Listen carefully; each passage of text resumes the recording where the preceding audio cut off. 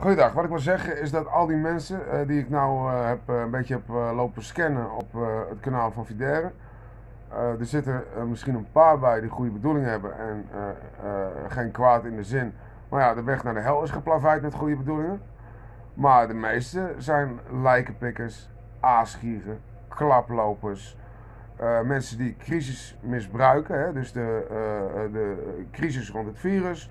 Eh, mensen die het nodig hebben om eh, eh, lekker recalcitrant te doen en moeilijk doen om het moeilijk doen. Nou, dat is niet oké. Dat is niet oké. ja? Die moeten gewoon lekker rustig gaan xboxen en een beetje gaan twitteren.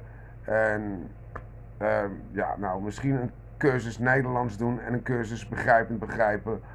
En een hele hoop van deze mensen hebben inderdaad een eh, behandeling nodig. Alleen de GGZ, geloof me nou, die gaat het veel en veel erger maken. Maar ja, dan zijn ze misschien een tijdje gemediceerd. En misschien moeten ze dan een tijdje binnen zitten. En dan eh, nou, is Nederland in ieder geval een tijdje van die mafkezen af. Dus, ik ehm, zie wel op dat kanaal een aantal mensen die eh, ernstig beschadigd is. En uit wanhoop dingen erop hebben gezet. En gewoon een verhaal kwijt willen. Eh, dat blijft, in die zin vind ik dat niet oké. dat hoe, hoe de kanalen Wappie Trovidere en mondkapspecialisten omgaan. Dat blijft. Er zijn een aantal. Dus ik van nou, die zijn zo damaged. eh, die, die, die, die, dat is zo'n roep om een schreeuw om hulp. Hè? Dus, dus, dus dat, is, dat is wat anders. Maar gewoon schreeuwers. En, en mensen die eh, lekker moeilijk willen doen. Omdat ze boe, slechte jeugd hebben gehad. Ja, nou, er zijn wel meer mensen die problemen hebben gehad hoor. En die hebben dat op een gegeven moment zelf opgelost. En gebruiken niet zulke soort situaties en crisis, zoals we een crisis wereldwijd hebben, ehm, om, om daarin eh, geld te vergaren. eh allerlei, een, een tikkie, tikkiepot of zo, tikkie, wat is dat? Ga ik moeten opzoeken.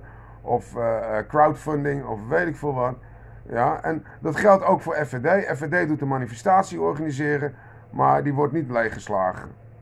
Maar het Malieveld wel en de, de andere wel. Nou, nog een paar factoren. Eh, de, de, de, de Romeo's, eh, die eh, tussen de doorgesnoven hooligans staan. Waarbij doorgesnoven hooligans, ja, goh, nou, daar zit dan Tine Scoops bij en andere lui.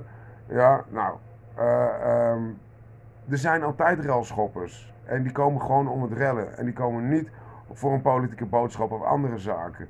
En er zijn altijd Romeo's die rellen uitlokken. Ja, zeer zeker. Klopt ook niet. Oh, wacht even. Klopt, ook niet. Dus, dus er zijn aan twee kanten opgetips. De Romeo's en dubbelagenten. En er zijn eh, de dubbelagenten. Tine Scoops, Van Vechelen. Eh, eh, er zijn nog wat namen genoemd. Ossebaard, Lange Frans. Dat is allemaal om de boel op te ruimen. En dan mensen die gewoon, inderdaad, goed in de waar zijn. Die, die, die gooien die tro- troep erop. En normale mensen die willen demonstreren, worden daarin meegetrokken.